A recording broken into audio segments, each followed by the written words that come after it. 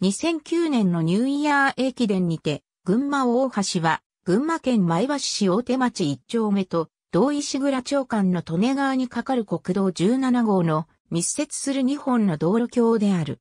下り線が1953年竣工の橋、上り線が1997年竣工の橋となっている。橋の管理者は、国土交通省関東地方整備局高崎河川、国道事務所である。本橋梁の休橋は、特定非営利、活動法人シビルまちづくりステーションによる関東地域の橋100線に選出されている。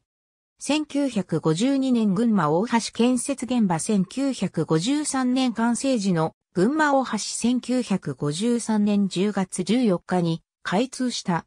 ワーレン型穂、強しトラス構造を持つ4連の高下路、ランガートラス橋の一等橋である。橋長は280メートル、車道福音は9.0メートル、歩道福音は2メートルに、最大島町は69.5メートル。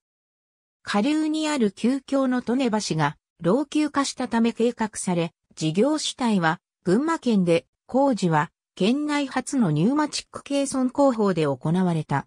株工は鹿島建設、上部工は横川橋梁が行った。1997年下流側に上り線専用の新橋が仮設された。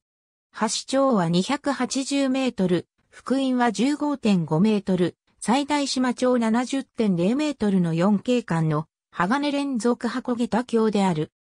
事業主体は建設省関東地方建設局、施工会社は日本交換で仮設工法としてトラッククレーンベント工法が用いられた。新橋開通後は、旧橋は下り線専用となり、上下線両方で5車線での共用となっている。共鳴の群馬大橋は、群馬県民の公募により決定された。